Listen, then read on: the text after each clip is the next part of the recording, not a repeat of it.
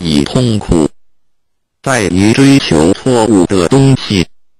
二点，如果你不给自己烦恼，别人也永远不可能给你烦恼，因为你自己的内心你放不下。三点，你永远要感谢给你逆境的众生。四点，你永远要宽恕众生，不论他有多坏，甚至他伤害过你，你一定要放下，才能得到真正的快乐。五点，当你快乐时，你要想，这快乐不是永恒的。当你痛苦时，你要想这痛苦也不是永恒。六点，今日的执着会造成明日的后悔。七点，你可以拥有爱，但不要执着，因为分离是必然的。八点，不要浪费你的生命在你一定会后悔的地方上。九点，你执魔时候放下，执魔时候就没有烦恼。十点，每一种创伤都是一种成熟。十一点，狂妄的人有救，自卑的人没有救。认识自己，降服自己，改变自己，才能改变别人。十二点，你不要一直不满人家，你应该一直检讨自己才对。不满人家是苦了你自己。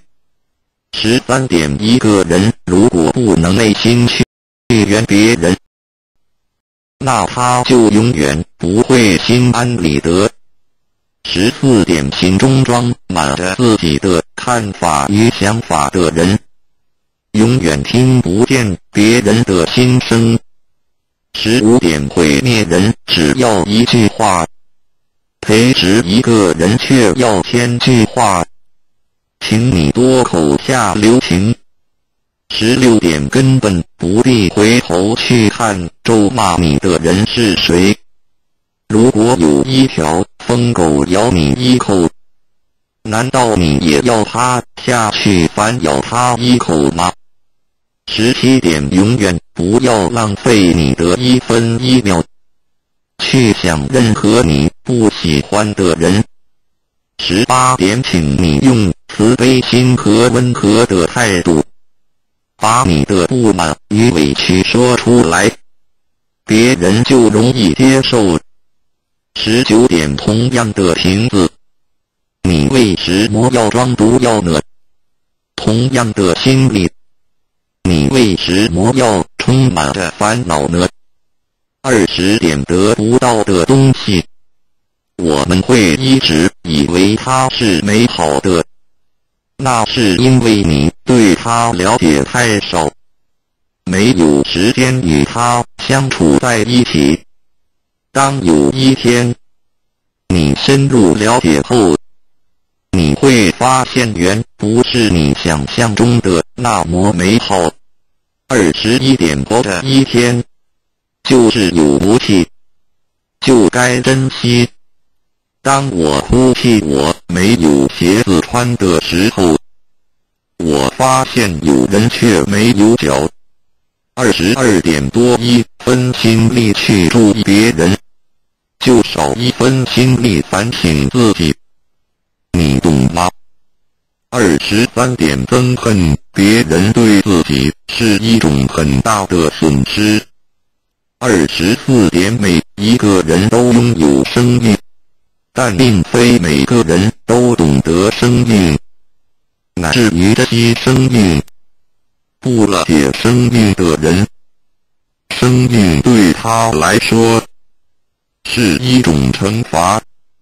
二十五点，情是苦恼的因，放下情执，才能得到自在。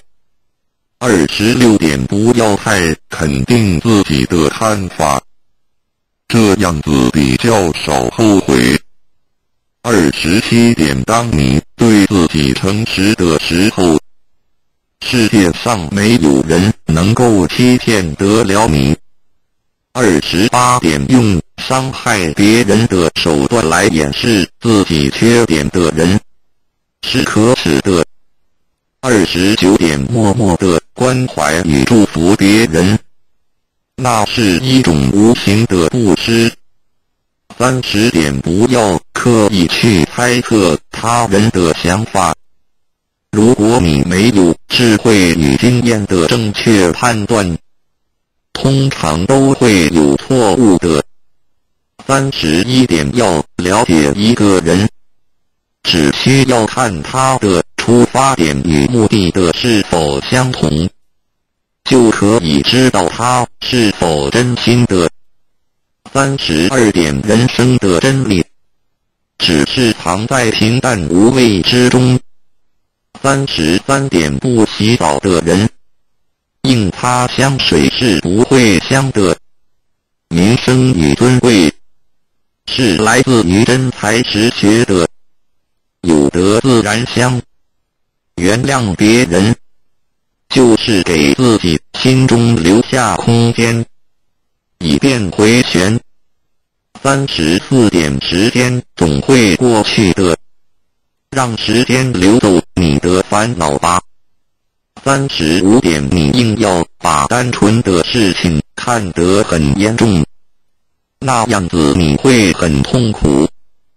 三十六点，永远扭曲别人善意的人，无药可救。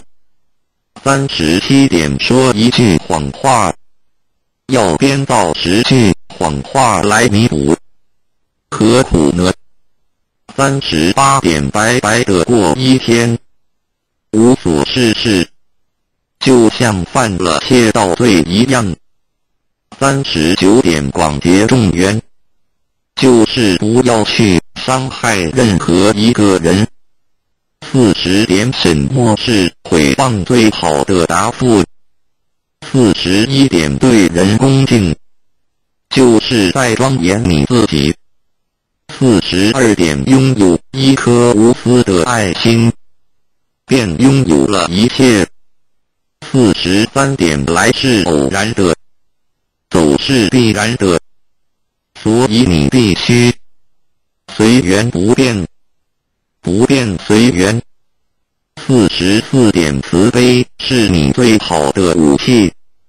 四十五点，只要面对现实。你才能超越现实。四十六点，良心是每一个人最公正的审判官。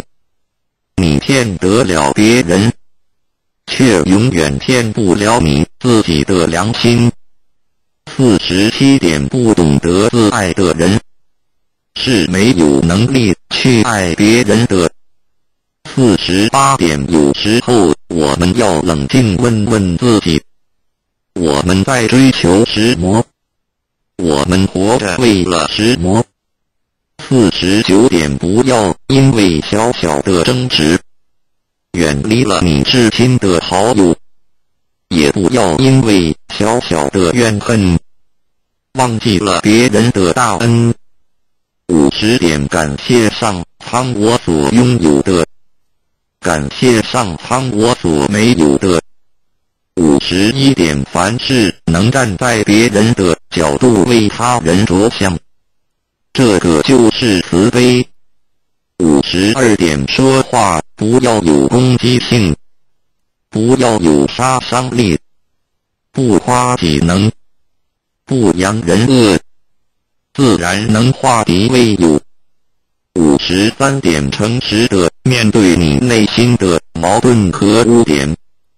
不要欺骗你自己。五十四点，因果不曾亏欠过我们石魔，所以请不要抱怨。五十五点，大多数的人一辈子只做了三件事：自欺欺人，被人欺。五十六点，请是最大的骗子。别人能骗你一时，而他却会骗你一辈子。五十七点，只要自觉心安，东西南北都好。如有一人未渡，切莫自己逃了。五十八点，当你手中抓住一件东西不放时，你只能拥有这件东西。如果你肯放手，你就有机会选择别的。人的心若死时，自己的观念不肯放下，那么他的智慧也只能达到某种程度而已。五十九点，如果你能够平平安安的度过一天，那就是一种福气了。多少人在今天已经见不到明天的太阳？多少人在今天已经成了残废？多少人在今天已经失去了自由？多少人在今天已经家破人亡？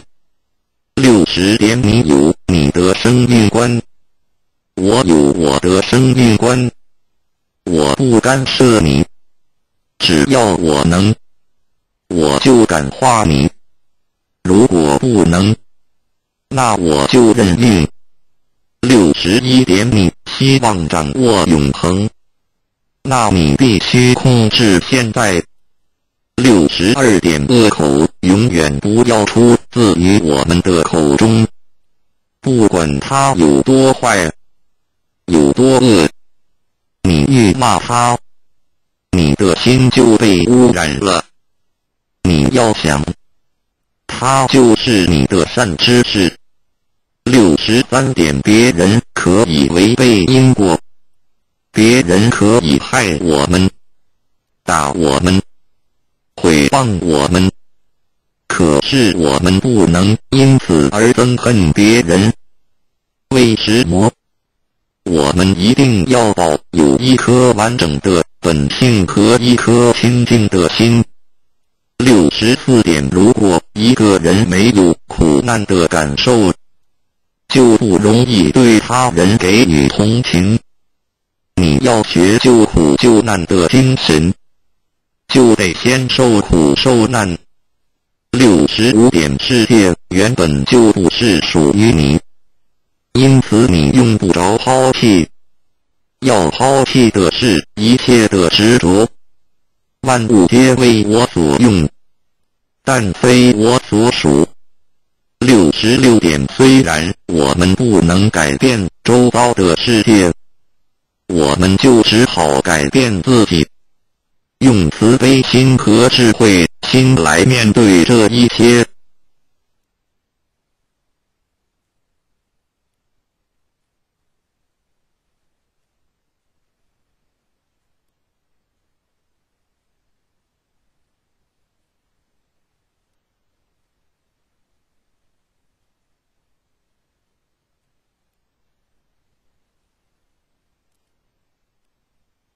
十六条经典禅语，侠客文章一点：人之所以痛苦，在于追求错误的东西。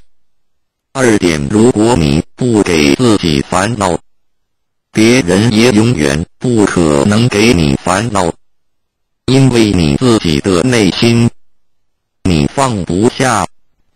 三点：你永远要感谢给你逆境的众生。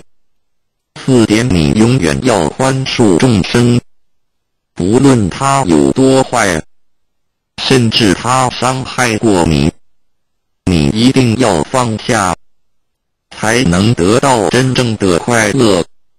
五点，当你快乐时，你要想，这快乐不是永恒的；当你痛苦时，你要想，这痛苦也不是永恒。六点，今日的执着会造成明日的后悔。七点，你可以拥有爱，但不要执着，因为分离是必然的。八点，不要浪费你的生命在你一定会后悔的地方上。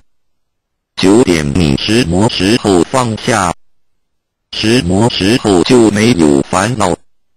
十点，每一种创伤都是一种成熟。十一点，狂妄的人有救，自卑的人没有救。认识自己，降服自己，改变自己，才能改变别人。十二点，你不要一直不满人家，你应该一直检讨自己才对。不满人家，是苦了你自己。十三点，一个人如果不能从内心去原谅别人，那他就永远不会心安理得。十四点，心中装满着自己的看法与想法的人，永远听不见别人的心声。十五点，毁灭人只要一句话，培植一个人却要千句话。请你多口下留情。十六点根本不必回头去看咒骂你的人是谁。如果有一条疯狗咬你一口，难道你也要它下去反咬它一口吗？十七点永远不要浪费你的一分一秒，去想任何你不喜欢的人。十八点，请你用慈悲心和温和的态度，把你的不满与委屈说出来，别人就容易接受。十九点，同样的瓶子，你为什么要装毒药呢？同样的心理，你为什么要充满着烦恼呢？二十点，得不到的东西。我们会一直以为它是美好的，那是因为你对他了解太少，没有时间与他相处在一起。当有一天你深入了解后，你会发现原不是你想象中的那么美好。二十一点，活着一天就是有福气。就该珍惜。当我哭泣我没有鞋子穿的时候，我发现有人却没有脚。二十二点多一分心力去注意别人，就少一分心力反省自己。你懂吗？二十三点憎恨别人对自己是一种很大的损失。二十四点，每一个人都拥有生命，但并非每个人都懂得生命，乃至于珍惜生命。不了解生命的人，生命对他来说是一种惩罚。二十五点，情执是苦恼的原因，放下情执，你才能得到自在。二十六点，不要太肯定自己的看法，这样子比较少后悔。二十七点，当你对自己诚实的时候，世界上没有人能够欺骗得了你。二十八点，用伤害别人的手段来掩饰自己缺点的人，是可耻的。二十九点，默默的关怀与祝福别人，那是一种无形的布施。三十点，不要刻意去猜测他人的想法。如果你没有智慧与经验的正确判断，通常都会有错误的。三十一点，要了解一个人，只需要看他的。出发点与目的的是否相同，就可以知道他是否真心的。三十二点，人生的真理只是藏在平淡无味之中。三十三点，不洗澡的人，硬擦香水是不会香的。名声与尊贵是来自于真才实学的，有德自然香。原谅别人，就是给自己心中留下空间，以便回旋。三十四点，时间总会过去的，让时间流走你的烦恼吧。三十五点，你硬要把单纯的事情看得很严重，那样子你会很痛苦。三十六点，永远扭曲别人善意的人，无药可救。三十七点，说一句谎话，要编造十句谎话来弥补，何苦呢？三十八点，白白的过一天，无所事事，就像犯了窃盗罪一样。三十九点，广结众缘，就是不要去伤害任何一个人。四十点，什么是诽谤最好的答复？四十一点，对人恭敬，就是在庄严你自己。四十二点，拥有一颗无私的爱心，便拥有了一切。四十三点，来是偶然的，走是必然的，所以你必须随缘不变。不变随缘。四十四点，慈悲是你最好的武器。四十五点，只要面对现实，你才能超越现实。四十六点，良心是每一个人最公正的审判官。你骗得了别人，却永远骗不了你自己的良心。四十七点，不懂得自爱的人是没有能力去爱别人的。四十八点，有时候我们要冷静问问自己：我们在追求什么？我们活着为了什么？四十九点，不要因为小小的争执远离了你至亲的好友，也不要因为小小的怨恨。忘记了别人的大恩，五十点感谢上苍我所拥有的，感谢上苍我所没有的。五十一点凡事能站在别人的角度为他人着想，这个就是慈悲。五十二点说话不要有攻击性，不要有杀伤力，不夸己能。不扬人恶，自然能化敌为友。五十三点，诚实的面对你内心的矛盾和污点，不要欺骗你自己。五十四点，因果不曾亏欠过我们十魔，所以请不要抱怨。五十五点，大多数的人一辈子只做了三件事：自欺欺人，被人欺。五十六点，信是最大的骗子。别人能骗你一时，而他却会骗你一辈子。五十七点，只要自觉心安，东西南北都好。如有一人未渡，切莫自己逃了。五十八点，当你手中抓住一件东西不放时，你只能拥有这件东西。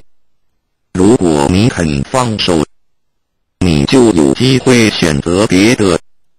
人的心若死执自己的观念，不肯放下，那么他的智慧也只能达到某种程度而已。五十九点，如果你能够平平安安的度过一天，那就是一种福气了。多少人在今天已经见不到明天的太阳？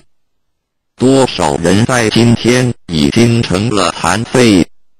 多少人在今天已经失去了自由？多少人在今天已经家破人亡？六十点，你有你的生命观，我有我的生命观，我不干涉你，只要我能。我就感化你，如果不能，那我就认命。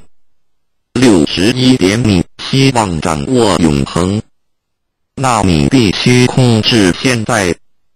六十二点，恶口永远不要出自于我们的口中，不管他有多坏，有多恶，你欲骂他，你的心就被污染了。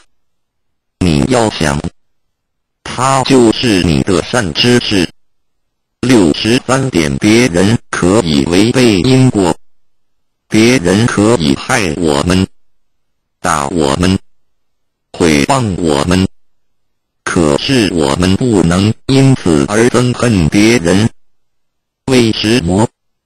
我们一定要保有一颗完整的本性和一颗清净的心。六十四点，如果一个人没有苦难的感受，就不容易对他人给予同情。你要学救苦救难的精神，就得先受苦受难。六十五点，世界原本就不是属于你。因此，你用不着抛弃。要抛弃的是一切的执着。万物皆为我所用，但非我所属。六十六点，虽然我们不能改变周遭的世界，我们就只好改变自己，用慈悲心和智慧心来面对这一切。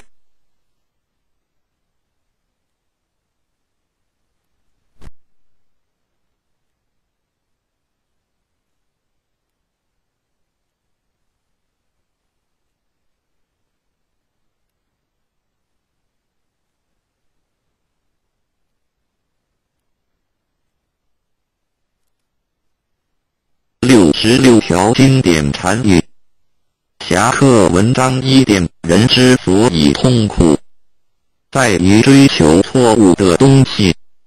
二点：如果你不给自己烦恼，别人也永远不可能给你烦恼，因为你自己的内心你放不下。三点：你永远要感谢给你逆境的众生。四点，你永远要宽恕众生，无论他有多坏，甚至他伤害过你。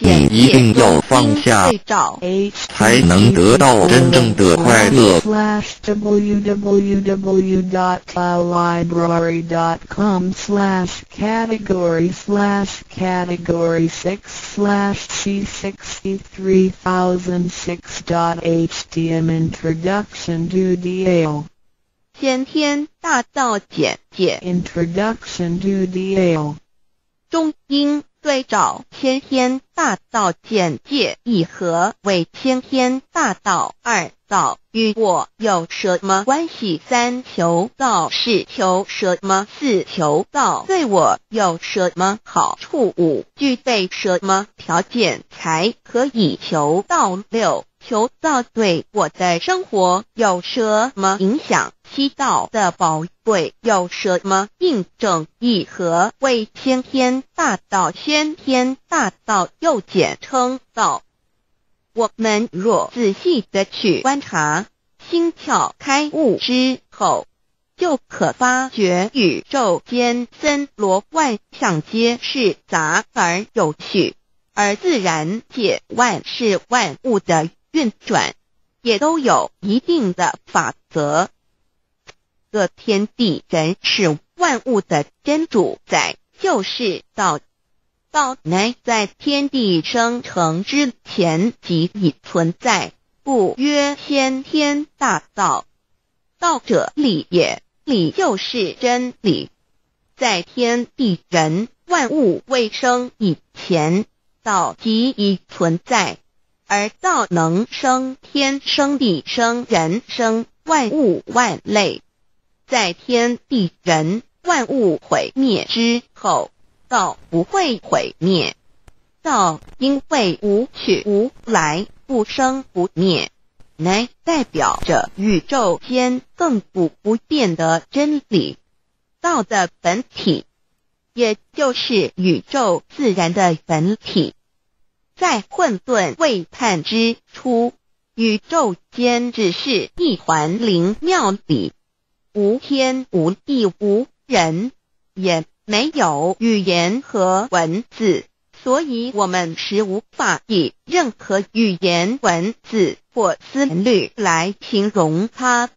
故大道无名强名曰道。我们也是勉强用到个名词来代表它。在天地万物生成之后，早就能贯穿于宇宙万事万物之中，使一切的自然现象均能呈现和谐有条不紊的运转。这就是道的妙用。道大理为。我们虽然无时无刻离不开道的本体和妙用，却又很不容易去认识它。因此，在两三千年前，各教圣人应运出世，各化一方，针对当时天时地利及众生的根气，留下千经万典。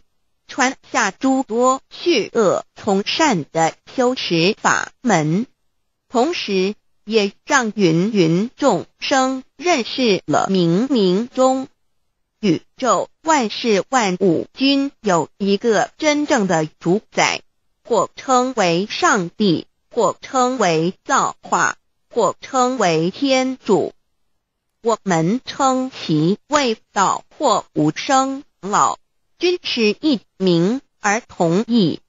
我们对道有了深一层的认识和体悟之后，就会了解天地间实无一物不是道之本体与妙用的合一。因此，道虽然涵盖各大教门的经义，为千门万教的总源头。确实不局限于宗教的领域里，而上帝或老也不只代表着一切宗教的最高信仰中心，更是天地万事万物万类的根本源头与最高主宰，及宇宙间永恒不变的真理之道。所以，我们今天有机会。了解什么是先天大道，不只找到了各大教门的最高信仰中心，也找到了宇宙的根本源头与最高主宰，更能对宇宙至高无上的真理有一个初步的认识。道之真义，在先天之先不为先。在后天之后不为后，即大上有可量，即为上有可指；为道即大不可量，即为不可止。不所以大无不包，为无不入，无所不贯，无所不通，无所不彻，贯彻了天地人万物万类，贯彻了三十三天外。贯彻了千经万典，贯彻了千法万法，贯彻了千教万教，贯彻了千佛万祖，贯彻了我之一身。此乃显天大道宝贵的真义，人人必须知真觉，亦即是人人与我我与人人良心之行也。此乃万众一心，万国一家，世界大同，此先天大道之宝贵也。二道与我有什么关系？道的宝贵在于它大而无所不包，细而无所不入。天地生成之后，道贯穿于天地万物万类。使得日月星辰之运转各有其时，四时之交替，万物之消长各有其序。而最宝贵的是，这天地万物的主宰，同时也是我们人一生之主宰，曰性理，使得我们不学而能看，能听，能吃。能动，因此我们不只要探求天地间的治理，更要回头认识我们身上固有的真理。不，先天大道即是性理真传道的宝贵，并不在于它有什么神秘、稀有或特殊之处，而是在于它平时，但我们却时时刻刻离不开它的本体与妙用。我们反观一下自身。就会发觉我们身体的结构是非常精密和奥妙的。我们轻轻的握一下手，就算是这么简单的一个动作，其中所牵涉到的所有关节物理作用、能量、化学反应、神经系统资料讯息之传输及。脑部分析、判断和命令之下达，以目前全世界的科技知识和文明水准，也无法一一表达出来。但是我们做出的动作的能力，却完全不因个人知道上了程度的差异而有任何影响。无论是学识多丰富的学者，或是目不识丁贩夫狗族；无论是成人，或是刚出生不久的婴儿，都可以轻而易举地做出的动作。人人与生俱来，不学而知，不学而能，无增无减的良知良能。就是主宰我们一生的道。我们有学习而得到的知识和才能，有忘记的时候，有疏远的时候。而道的本体和妙用，不用学习，不用思考，大而能主宰宇宙的运作消长。小而能主宰我们一生之视听言动，我们有而不知其有，用而不知其用，却又无时无刻不能缺少它的不增不减，本自具足一切我们身上固有的道，因为就在我们身上，又称作自信老。我们了解了个主宰天地万物的道，在我们身上就有它的作用，不应受到我们赞美或否认而有任何增减。无论种族、肤色、国籍、宗教信仰或贫贱富贵，均无分无别。因此。我们能求得西天大道，不只找了宇宙的根本源头，也找到了不生不灭的真我；不只认识了宇宙，也认识了我一生的真正主宰；不止追求到了宇宙之治理，也找回了我身上。本有的真理与良知良能，先天大道的根源是在我身上，原来固有的是我由先天带来的良知良能，即是我的良心。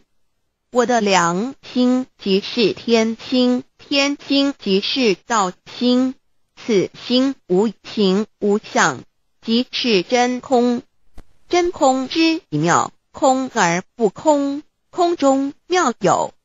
妙有者，生天生地生人生万物万类之大本也。妙用者，万灵真在也，主宰天地人万物万类之真主宰，亦即是主宰我之一身。故曰道在无身。一切万能，道离无身，此身在无异能。先天大道如此宝贵，乃人人必须追求之道也。三求道是求什么？静心观察我们所存在的这个宇宙，我们往往会赞造物主的神奇。自然界每一刻皆有无数的事物在同时运转，而其整体却又是那么协调。我们身上的这个真理不也是一样吗？每一分一秒，我们身上皆有无数的生化反应、物理作用等同时发生。道的妙用分布在我们身上，不用学习，不用思考，其作用虽成千上万，合起来却只有一个自我。一切有条不紊，自然而成。道在无声，运用自如，在眼能视，在耳能听，在口能言，在鼻能闻香臭，在身能运用行动做事。此即道在我身之妙用。所以，我们了解了道，不止主宰着天地万物，更主宰我们一生。宇宙根本源头最高主宰于我一生主宰，并非二也。道的本体无形无相，我们肉眼看不到它，手也摸不到它，但它却无时无刻不在发挥其妙用，更进而随着天时及环境。而发展出语言文字经典及造福人类的文明，此即是我们良知良能之作用。一般人不了解到在于我们自身的本体和妙用，只模糊意识到它的存在，便以灵魂代表它，我们称其为自信老。因其没有生灭，也不会毁坏。我们也称其为真我。此真我乃是最富足、最圆满、最光明、最完美、永恒不朽的。现在我们来生一看，看得见、摸得着有形有相的肉体。能不能代表我把一个人生命中不同阶段的照片拿来比较，我们就可发觉，面貌是无时无刻不在变化的。我们一般均习惯以相貌认人，但相貌却不是永恒的。我们的肢体也不是真我。某些人不幸失去了一只手或一只脚，仍是好好的活着。我们的内脏呢？现在科学昌明，其至仅能把动物的心脏成功地植入人体。我们不能因此说，的人不是他自己了。就算头的脑细胞。从我们一出生就开始不断的在坏死、减少和变化之，因此有形有相的肉体只是真我的一个工具而已。肉体虽然看似真实，却无时无刻不在改变之中，不拘数十年又变成一堆黄土。因它不是永恒的，我们称之为假我。对于真我和假我有所了解之后，我们也就可以了解我们为什么要求到了。如今我们非常幸运，能有机会求得先天大道，求得的就是三宝。三。宝简单明了，但也博大精深。其内容在求道时会详细解说。现在只简单的提出两点。首先，求道就是直接点出了真正永恒不朽的真我，也就是良心本性的发。在物质文明远较精神文明昌盛的今日，假若迷失真我，我们的人生将有如行尸走肉。若是认假为真，更是我们为了盲目满足假我而做出害己害人的事情，造成自己在世时与死后的灾祸。因此，求道启发了我们内在本的真我良心，真我假我协调融合，使我们的人生不论存没。都是平安喜乐、自在充实而有意义。其次，求道也就是开启了我们身上的正门，又称良心之门、智慧之门、慈悲之门。各门非常的重要。当我们要离开一间房子时，自然由大门离去。如果此门无法开启，而被迫从窗户或阳台跳出时，就可能会摔断腿。我们的肉体就像一间房子，真我灵性就像是房子的主人。当有一天肉体要毁坏时，真我灵性若不得正门而出。被迫另寻旁门，其恐惧与焦虑是无法形容的，这也导致了死后的痛苦与不安。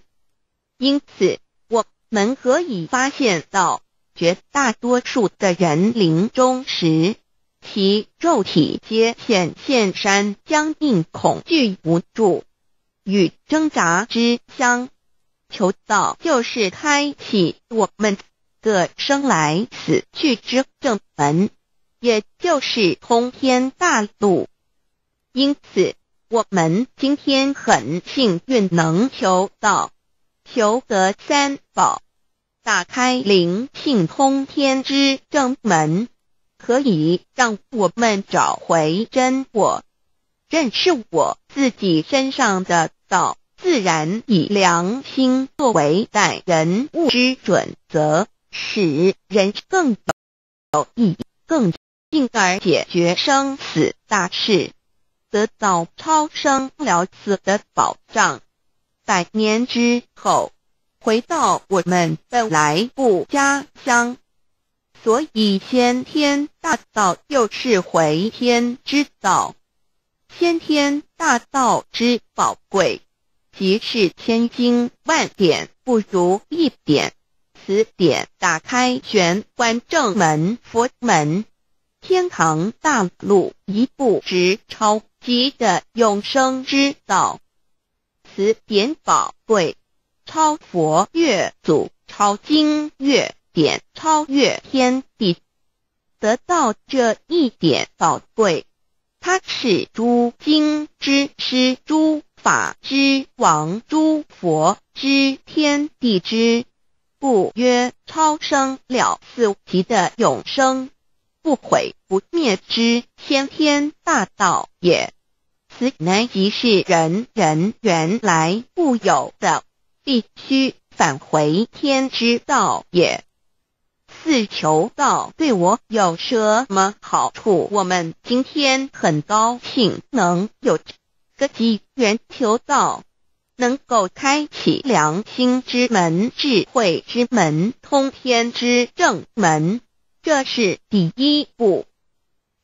这宝贵的道，还能带给我们终生受用不尽的福之益，离苦的乐。人生在世，遭受种种之苦恼，就其根源。皆起因于迷失了真我，求道首先就是让我们认识人人身上固有的道，找回我们本有至真至善至美具足圆满、永恒不休的真我，在日常言行之中发挥真我，使我们一举一动皆能合于理，止于至善。自然不会受周遭的人事物所左右，我们的心也就不会患得患失。心为一身之主，我们既然在心境上有所提升，自然不会与邪恶之事相感应，则不相随心转，还可以改变命运，趋吉避凶。朝向光明，使我们得到真正的喜悦、逍遥自在。二堕地难自有人类文明以来，道的真意便代代单传独守，其没落贯穿了早期的主要文明，如中国、印度等。奈何近百年来，人类受物欲所逼，在空前繁荣的物质文明中，逐渐迷昧了良心，甚至竟将制造威力极大的杀人武器。回顾数千年人类历史，在近代短短数十年间。便发生了两次世界大战，无数挑战，伤亡无数。滥用科技文明，同时也损害了自然环境，造成大气臭氧层之破坏、球性气候的改变、人心之变，感到了天灾人祸连连。人类已为自己酝酿了一个空前的浩劫，因此上帝洪恩慈悲，特将大道谱传于世，以挽救良善。求道以后，我们时刻存着道心，以良心待人处事。当遇有人力不可挽救的灾祸时，只要诚心使用三宝，必能灾必劫，逢凶化吉。此事验证甚多，不生枚举。三超生了四人生，有如一段苦乐相参的旅程，遭受生存竞争、衰老、病痛、死亡等困苦，人皆难免。而人间种种欢乐，又往往是短暂易变的。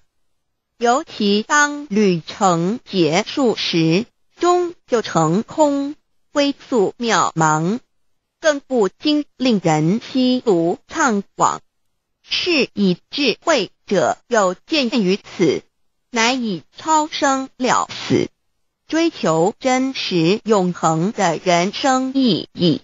为人生至高之目标，古代先修后的，因此古人为求超生了死，尽毕生之力苦修苦行，仍难以访得名师达成心愿。如今大道普传，先走后修，在求道过程中，天命名师一指。开启了我们通天正门，先赋予超生了死的保障。我们得道以后，认识了真我，以真我为主宰，远离邪心妄念，让我们的心念、言语、行为，无论待人处事，皆合于良知。百年之后。真我灵性自然返回故家乡，永享平安喜乐。四成圣成贤求道，也就是为我们种下一个成圣成贤的正因道种，只要我们以智慧、慈悲心境灌溉它，它必然萌芽、开花、结果。在此功利主义弥漫的黑暗时代，大道乃是光明的灯塔。求道修道，不仅让我们能够独善其身，更是我们有机会可以兼善天下。求道之后，只要我们时刻抱着道心、良心。在日常生活中真诚实践道的精神，不计个人得失荣辱，努力使周围每一个人都可得享到的好处，让道的光明照亮每一个角落，尽其一生精进不懈，则在世即成就圣贤事业。归天之后，必正圣贤果位无疑。先天大道的宝贵，就是天道天命。天命就是三朝名师，名师一点玄关开，打开正门，佛祖来，天堂飞在我身外，天上地下我都在。此乃先天大道的。尊至贵至宝也，先天大道，天命宝贵，三朝名师这一点妙至极意，非是在言语文字相声音可得，非是在千经万典上的，非是在讲经说法上的，非是在是指辩聪上的，非是在。博学才能上的，非是在才高八斗上的；以上皆是生死法对待法，非是超生了死脱对待了生死之法也。此次级的先天大道妙用妙能的宝贵，其妙极矣。此者是无师智，此智是妙智妙。会，此至此会是我本来固有的，由先天带来的，一即是在找回来天地人万物万类卫生以前我的初心，即我良心天心道心老心也。先天大道之妙，此妙之贵妙不容言，不学而知。不学而能，亦即是先天带来的先知先觉妙用妙能。此知此觉此能此用，不用言语文字声色，不用思想，不用念头，不用言听是动，而生天地人万物万类，生天地人万物万类之后。这天地人万物万类，实可分妙离开其妙用妙能，故曰灵真主宰也。设若天离开先天大道之妙用妙能，则河汉星斗乱序，日月无光，亦不能轮转，则阴阳二气不能流通。万物万类世界的众生，人人皆不得其生存。设若大地离开先天大道之道用妙能，这金木水火土不能相配，则险象丛生，山崩地裂，海水枯干，亦使万物万类世界的众生人人能得其生。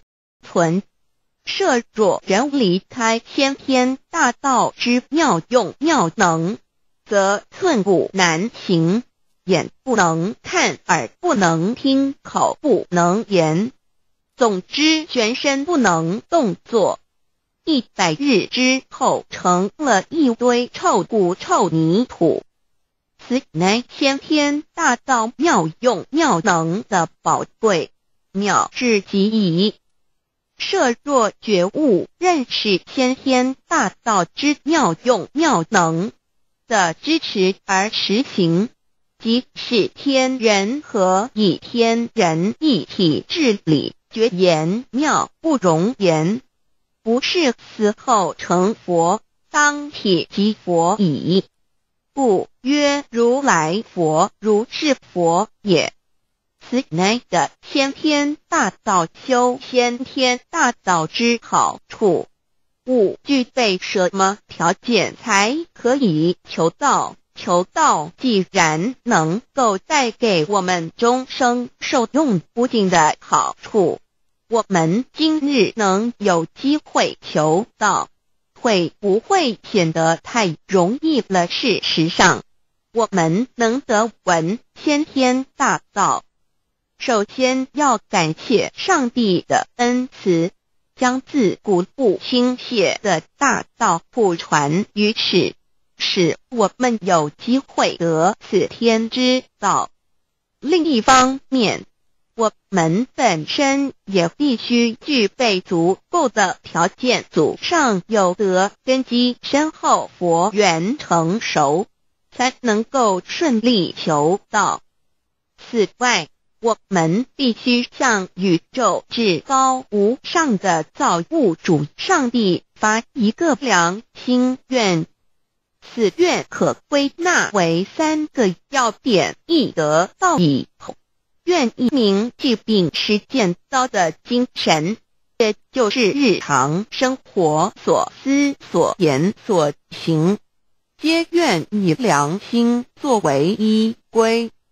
二得道以后，愿以能力所及，助周围需要我们帮助的人，愿意多了解道的意义，并让更多的。人受天道的福祉，三得道以后，绝不将求得的三宝告知任何人。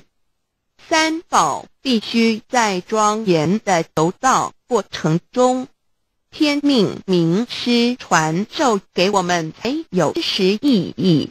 若有我们泄露给其他人，则不但毫无意义，毫无效。果，我们自己也违反了天律的良心愿，合乎人人本具天赋的良知良能，所以我们人人都能够做到真诚实践良心愿，也必须滋润我们求道时种下的智慧、慈悲、清净之正因道种。使它顺利萌芽、开花、结果，才不至虚度这千载难逢的求道修道良辰。值得一提的是，我们能顺利求道，原因之一即是沾了祖德的光，是故上天开恩，只要我们修道有恒。则我们的祖先也有机会可以求求道超生得救。我们子孙义的印地，对父母祖先敬大小，这是最好的机会。只要具备以上条件，则无论任何国界、种族、宗教信仰的人，都可以求道。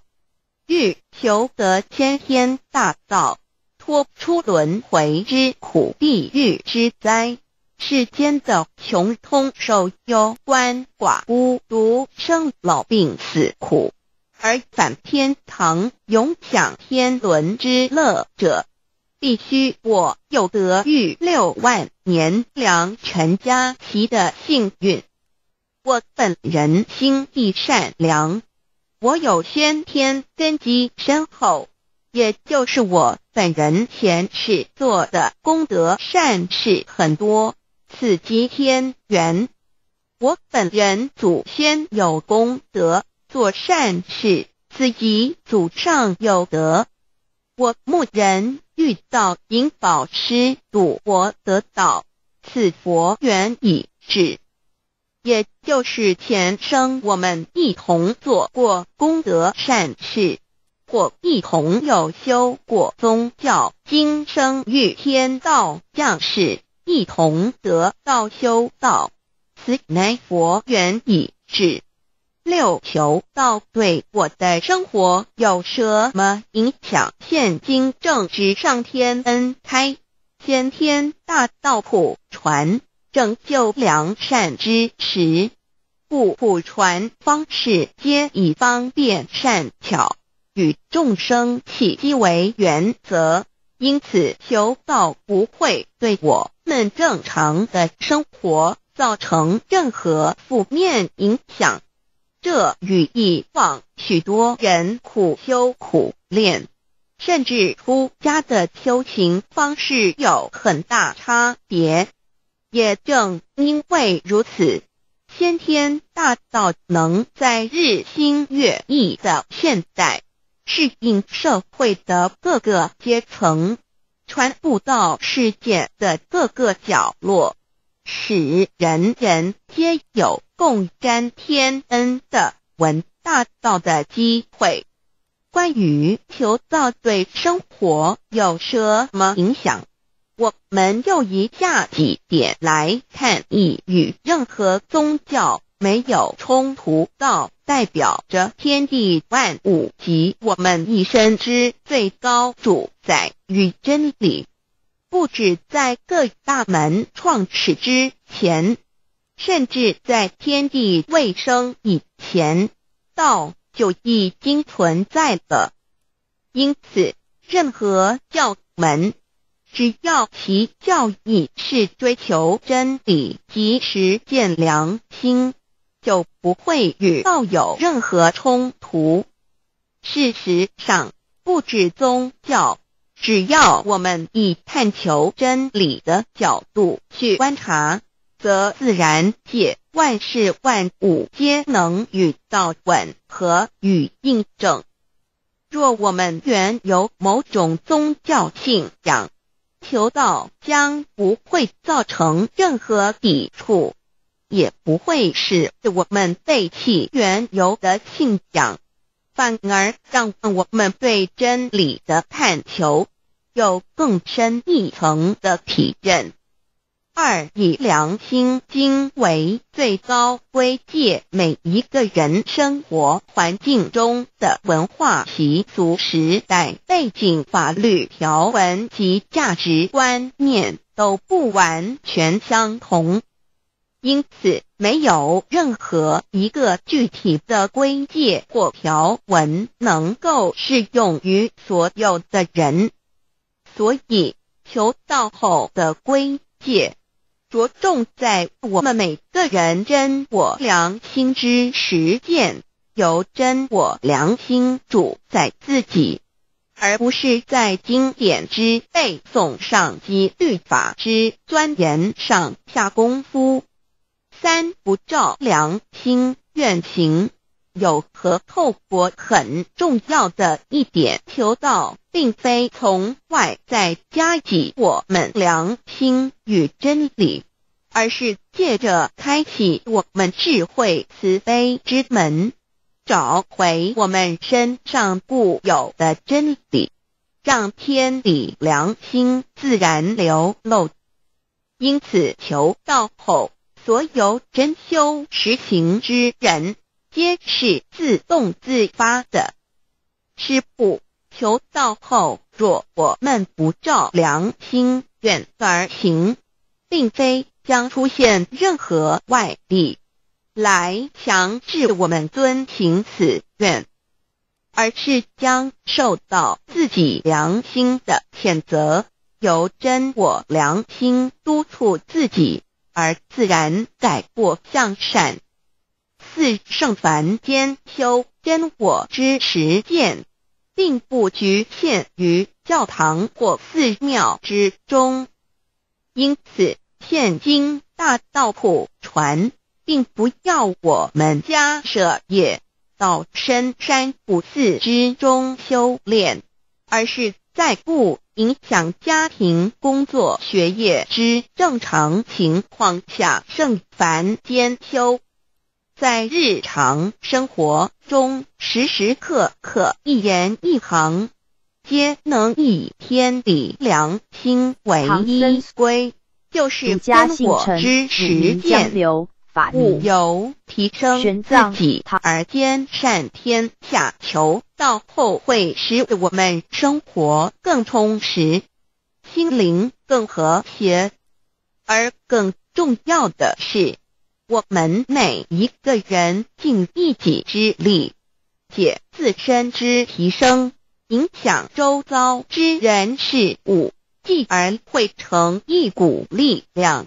在这举世天理良心日趋沦丧之潮流中，匡正人心，力挽狂澜。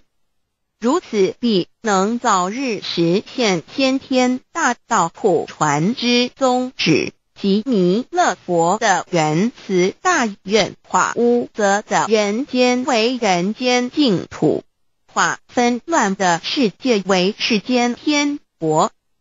七道的宝贵有什么印证到是宇宙的至高真理？它的作用贯穿了天地万物万类，更是我们一生之最高主宰。真正了解了这一点，我们就会体认到，道是随时随处可以被印证的。许多贤贤得道之后，发出了大诚心、大信心、大智慧，真修真行，皆能参悟到。不止在各教经典之中可以印证到，其实在任何时间空间、万事万物，我们之一身，甚至一草一木。皆离不开道的本体和妙用，体认至此，自然能发出永不退转之道心。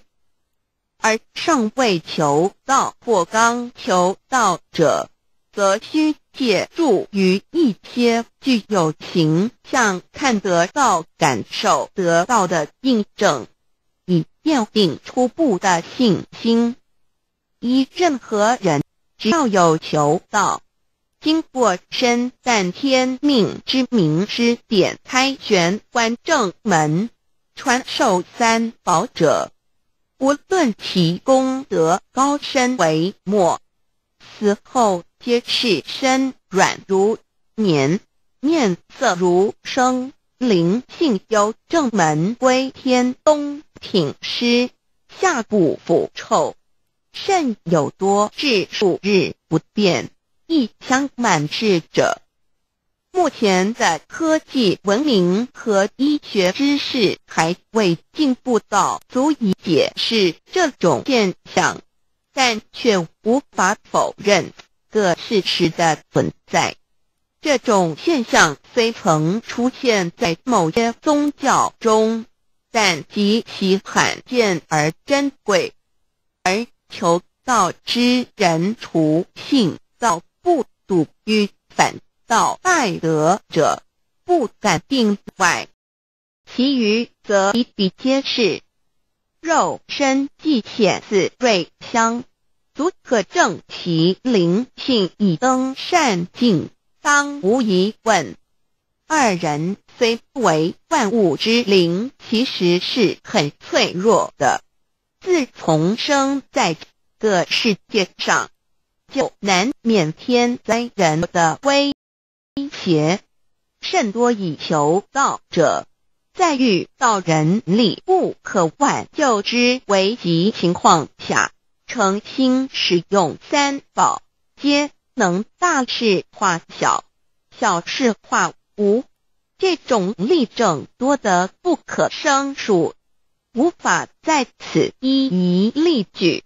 以上两点虽然极为宝贵，但却是任何人只要一求道，借着上帝的天命宝贵，立刻就可以得到的保障。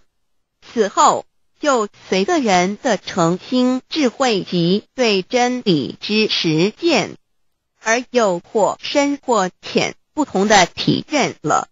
如人饮水，冷暖自知。希望各位具有善根，有机会能得闻大道的先生女士，皆能入宝山而满载而归，皆能求道而同真善境。Introduction to DAY What is